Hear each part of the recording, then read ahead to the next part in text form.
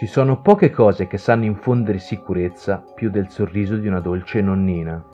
Una di quelle signore anziane, sempre pronte a regalare un dolcetto e una carezza a qualche nipote in lacrime dopo essere stato sgridato dai genitori. Fu proprio questo, nonnina ridacchiante, il soprannome con cui tutti conobbero Nanny Doss, ma, come vedremo, nella sua vita non ci fu molto spazio per la tenerezza. Nanny Doss nacque in Alabama agli inizi del Novecento la sua infanzia non fu particolarmente felice, soprattutto a causa di un padre alcolizzato e collerico che la obbligò sin dalla più tenera età a spaccarsi la schiena nei campi, impedendole categoricamente di frequentare ragazzi, cosa che la DOS faceva abitualmente di nascosto. All'età di 16 anni la ragazza si fece coraggio e presentò al padre il suo fidanzato. L'uomo sorprendentemente accettò l'unione, i due quindi si sposarono e ebbero quattro figli nei primi sei anni di matrimonio. Fu a quel punto che la lucida follia della donna ebbe inizio. Stanca di badare a una prole così numerosa, ne avvelenò infatti due, mettendo del veleno per topi nelle loro minestre. Poco dopo morì misteriosamente anche la suocera, con cui Nanny aveva un rapporto molto turbolento. Charlie Braggs, suo marito, sospettò subito della moglie, e per la verità fu l'unico per diversi decenni. Ma invece di denunciarla preferì scappare, portandosi dietro una delle figlie superstiti, per poi far ritorno un anno dopo per chiedere il divorzio e cacciare la donna da casa. Le due povere bambine finirono con la nonna materna e Nanny si mise a cercare un nuovo marito attraverso riviste di annunci per cuori solitari, riviste per cui la donna sviluppò nel tempo un morboso attaccamento. Dopo poco tempo conobbe quello che sarebbe diventato il suo secondo marito, Frank Harrelson.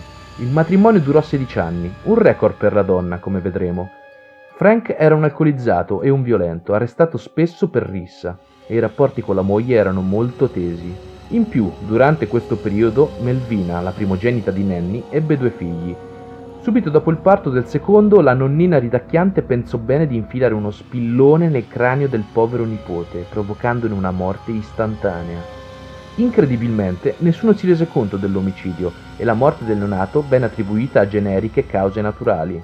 Anche per l'altro bambino la vita fu breve. La nonna gli stipulò infatti una ricca assicurazione sulla vita, uccidendolo poco dopo per asfissia. Lo stesso anno uccise anche il marito, avvelenando col veleno per topi la sua bottiglia di whisky. Difficile crederlo, ma dopo ben sei omicidi nessuno pensò di sospettare questa ridente signora dallo sguardo rassicurante. Nel 1947 Nanny Doss si trasferì in North Carolina, dove grazie alle solite riviste per cuori solitari conobbe Ernie Lanning, suo terzo marito.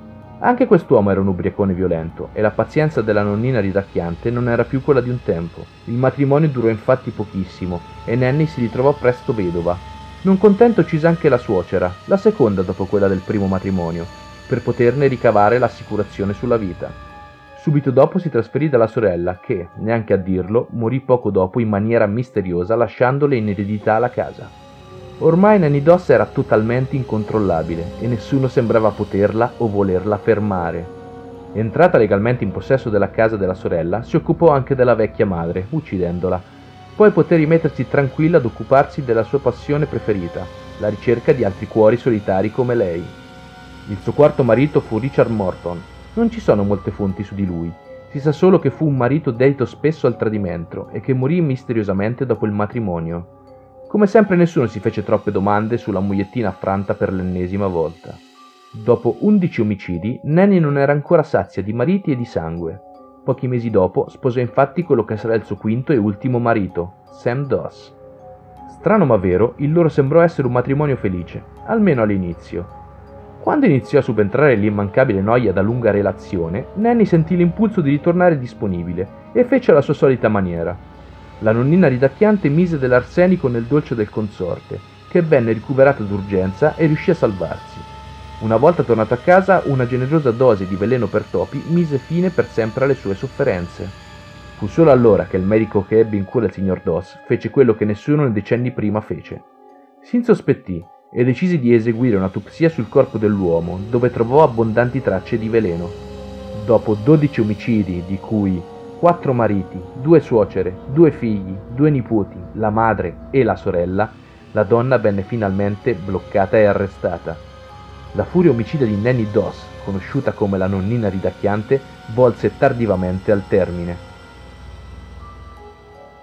Ah, se ve lo stesse chiedendo, le autorità riuscirono a far confessare la donna solo dopo la minaccia di confiscarle le sue riviste di cuori solitari. Se il video ti è piaciuto, ricordati di mettere un bel mi piace, condividere e commentare. Se non ti è piaciuto, spiegane pure i motivi. Poi attendi i demoni che ti verranno a prendere nel cuore della notte. Nel frattempo, ricordati di iscriverti al canale e alla nostra pagina Facebook.